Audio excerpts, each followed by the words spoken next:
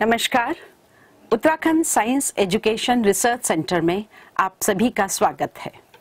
यूसर्क राज्य में प्रौद्योगिकी आधारित विज्ञान शिक्षा सुलभ करवाने हेतु कृत संकल्प है। आज के इस तकनीकी युग में, शिक्षा पद्धति में सम्यक बदलाव की आवश्यकता को ध्यान में रखते हुए, शिक्षा के सभी स्तरों तक आईसीटी के समावेश से और विशेषज्ञों के माध्यम से विकसित ई कंटेंट सुदूर छात्रों एवं अध्यापकों हेतु उपलब्ध करवाया जा रहा है। हमारा विश्वास है कि ई कंटेंट एक मूल्यवान संसाधन के रूप में आपके चिंतन कौशल एवं रचनात्मकता में वृद्धि करने में सहायक होगा। धन्यवाद।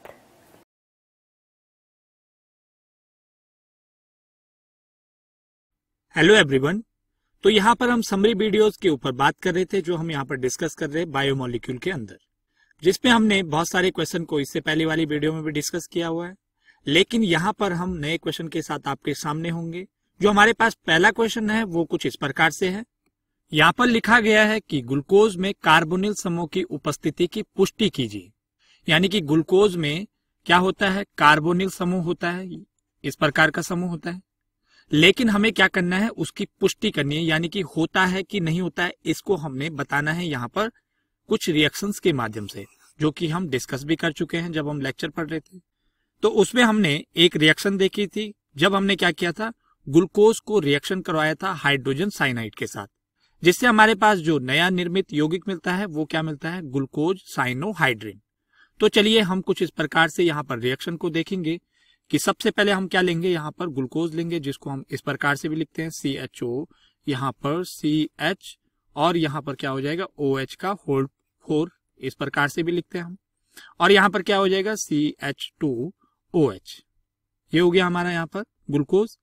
इसको अगर हम रिएक्ट करवाते हैं हाइड्रोजन साइनाइड के साथ, यानी कि एच सी एन के साथ, तब हमारे पास जो नया यौगिक यहाँ पर प्राप्त होता है, वो यहाँ पर कुछ इस प्रकार से होता है सी एच और इसके साथ क्या जुड़ा होता है? इसके साथ यहाँ पर जुड़ा होता है ओ OH और साथ ही साथ यहाँ पर क्या जुड़ा हुआ है? यहाँ पर जुड़ा हुआ है सी यानी कि मैं इसी कलर से यहाँ पर लिख लेता हूँ कि यहाँ पर जुड़ा हुआ है साइनाइट साथ ही साथ यहाँ पर क्या जुड़ा हुआ है? यहाँ पर आप देख सकते हैं सी एच ओ एच का होल फोर ये है यहाँ पर। और दूसरा यहाँ पर क्या है? C H two O H ये हमारे पास यहाँ पर नया यौगिक निर्मित हो गया है। जिसको हम क्या कह रहे हैं? इसको हम कह रहे हैं ग्लूकोज साइनोहाइड्रिन ये हमारे पास यहाँ पर निर्मित होता है जब हमने ग्लूकोज को हाइड्रोजन साइनाइड के साथ रिएक्शन करवाया। तो यहाँ पर होता क्या है? यहाँ पर आप देखेंगे कि यहाँ पर हुआ क्या है जिससे यहाँ पर साइनाइड जुड़ गए हैं। यानी कि यहाँ पर ऑक्सीजन इस प्रकार से रहता है। यहाँ पर पहले ऑक्सीजन क्या करता है? अपने पाई इलेक्ट्रॉनों को लेकर निकल जाता है, जिससे यहाँ पर हो जाती है इलेक्ट्रॉन की कमी, यानी कि कार्बन के ऊपर पॉजिटिव चार्ज आएगा और आपको पता है कि जो साइनाइड होता है, वो इलेक्ट्रोनेगेटिव होता है, जबकि हाइड्रोजन इलेक्ट्रो पॉजिटिव तो ये क्या करेगा? यहाँ से इलेक्ट्रॉन डोनेट कर देगा इस कार्बन को। और ये तो आप जानते हैं कि ऑक्सीजन के पास क्या होता है यहाँ पर, जब इलेक्ट्रॉन ले लेगा तो इलेक्ट्रॉन नेगेटिव हो जाएगा वो। जिससे यहाँ पर ये वाला जो पॉजिटिव स्पीसीज है, यानी कि जो हाइड्रोजन है, ये आकर यहाँ पर इस ऑक्सीजन के ऊपर जुड़ जाएगा। जिससे हमारे पास यहाँ पर ये पता चलता है कि जो ग्लूकोज होता है, उसमें क्या होता है? कार्बोनिल समूह उपस्थित होता है। तभी तो यहाँ पर रिएक्शन हो रही है, नहीं तो रिएक्शन कैसे होती? तो चलिए यहाँ पर भी हमने देखा कि जो ग्लूकोज होता है, उसमें कार्बोनिल समूह होता है। नेक्स्ट क्वेश्चन हम यहाँ पर डिस्कस करते हैं। नेक्स्ट है, निम्नलिखित को सुमेलित कीजिए, यानी कि आपको क्या करना है? आगे कुछ ऑप्शन दिए होंगे, उनको क्या करना है? उनका मिलान करना है। तो यहाँ पर हमारे पास कुछ इस प्रकार के ऑप्शन दिए गए हैं, जिसमें आपको मिलान करना है कि कौन किससे मिलता है। तो मैं यहाँ पर आपको एक रफ आइडिया दूँगा, यानी कि मैं यहाँ पर तीर के माध्यम से दर्शाऊँगा कि कौन किसके साथ मिलान खाता है। तो सबसे पहले यहाँ पर आता है ग्लूकोज तो ग्लूकोज क्या करता है? यानी कि ग्लूकोज का जो ऑप्शन है वो किसके साथ मिलता जुलता है? तो ग्लूकोज यहाँ पर किसके साथ मिलान खा रहा है? तो आप कहेंगे कि ये खा रहा है यहाँ पर मोनोसेकेराइड के साथ।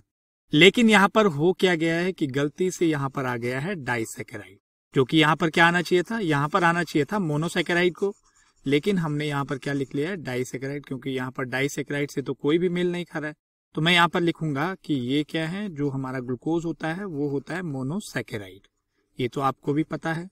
और इसी प्रकार के क्वेश्चन कई बार पूछ लिए जाते हैं तो आपको इसको प्रिपेयर करके रखना है कि यहाँ पर जो हमारे पास क्वेश्चन है, उसका आंसर आपको कुछ इस प्रकार से देना है। हालाँकि जो मैं यहाँ पर क्वेश्चन दे रहा हूँ, वो तीर के माध्यम से आपको दर्शा रहा हूँ, ऐसा नहीं दिया जाता है। आगे मैं बताऊँगा कि किस प्रकार से इसका आंसर दिया जाता है। वैसे तो आपको आता, ट्वेल्थ में भी पढ़ रहे हैं, सबको आना चाहिए तो। अब यहाँ पर जो स्टार्च है, वो किसके साथ मेल खा रहा है? तो स्टार्च क्या होता है? ये होता है पॉलीसेकेराइड, ये तो आपको पता है, पॉलीसेकेराइड का एग्ज़ाम्पल होता है। दूसरा यहाँ पर आ रहा है विकृतिकरण, यानी कि डिनेचुरेशन। तो डिनेचुरेशन में क्या होता है? तो आपको याद रखना है कि डिनेचुरेशन में होता है प्रोटीन की जैविक सक्रियता नष्ट, यानी कि उनके बीच में जो हाइड्रोजन बॉन्डिंग होती है, वो डिस्टर्ब हो जाती है। जिससे उसकी बायोलॉजिकल एक्टिविटी खत्म हो जाती है। यानी कि हम प्रोटीन की बात कर रहे हैं। चलिए यहाँ पर बात करते हैं क्लोरोफिल की। अब क्लोरोफिल तो आप सभी जानते हैं क्या होता है। प्रकाश संश्लेषण होता है। जहाँ से क्या करते हैं, पौधे अपना भोजन बनाते हैं तो बहुत बेसिक चीज़ है। दूसरा यहाँ पर लिखा है एटीपी यानी कि एडिनोसिन ट्राइफॉस्फेट ये यहाँ से किससे मेल खा रहा है? एक ही ऑप्शन यहाँ पर हमारे पास बचता है, वो है यहाँ पर ऊर्जा स्थानांतरण अभिक्रमक।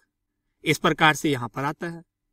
अब मैं बताता हूँ कि इसको किस तरह से लिखा जाना था। इसको लिखा जाना था कुछ इस प्रकार से, यानी कि वन के आगे क्या है? वन के आगे आ जाता है वी वैसे यहाँ पर टू के आगे, स्टार्च के आगे क्या है? यहाँ पर लिखेंगे आप आई वैसे थ्री के आगे यहाँ पर क्या आ जाएगा? तो थ्री के आगे आप देख रहे हैं यहाँ पर क्या आ रहा है? चौथे नंबर पर आ रहा है। वैसे हम यहाँ पर आगे जो चौथा हमारे पास ऑप्शन है, वो कुछ इस प्रकार से है कि चौथे के आगे क्या है? यहाँ पर ये थर्ड वाले से मेल खा रहा है। वैसे अगर यहाँ पर फिफ्थ की बात करें तो फिफ्थ किस से मेल खा रहा है? तो आप देख सकते हैं फिफ्थ वाला मेल खा रहा है यहाँ पर, जो हमारा होता है सेकंड वाला। तो यहाँ पर लिख सकते हैं आप सेकंड के साथ यहाँ पर मेल खा रहा है। इस प्रकार से इसका सीक्वेंस आना था, लेकिन हमने यहाँ पर पहले इस प्रकार से देखा है। फिर हमने यहाँ पर देखा कि किस प्रकार से आगे हम इनको परीक्षाओं में कर सकते हैं। चलिए नेक्स्ट क्वेश्चन डिस्कस करते हैं। यहाँ पर लिखा है, एमिनो एसिड के जलीय विलयन में ज्विटर आयन संरचना लिखिए।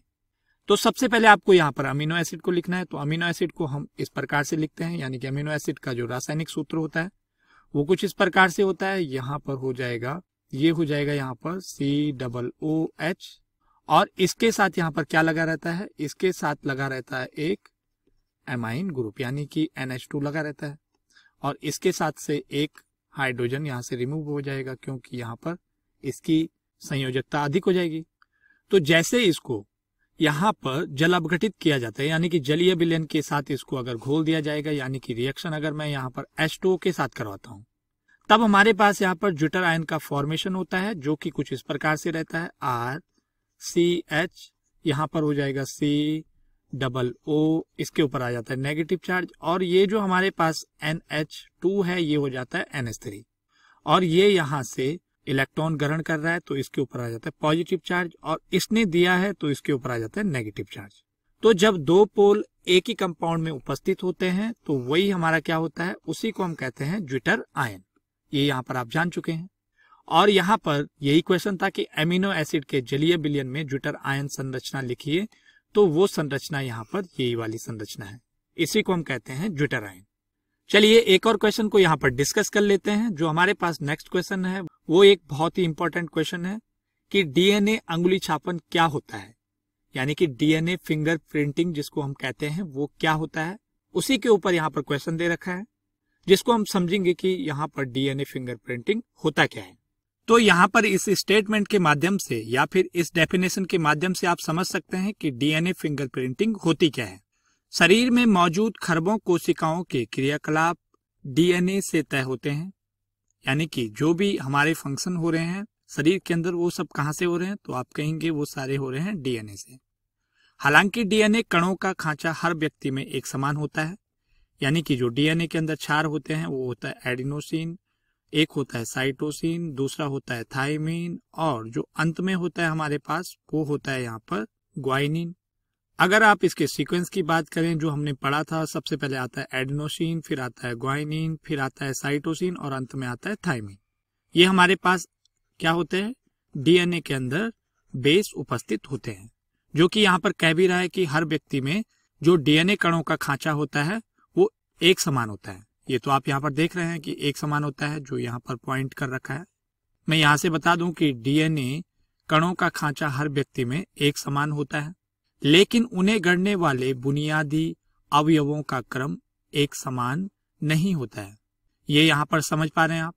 जैसे कि आपस में जुड़े रहते हैं, कुछ इस प्रकार से जुड़े रहते हैं। मैं समझ लेता हूँ कि ये हमारा यहाँ पर डीएनए है, जो कि यहाँ पर इस प्रकार से होता है।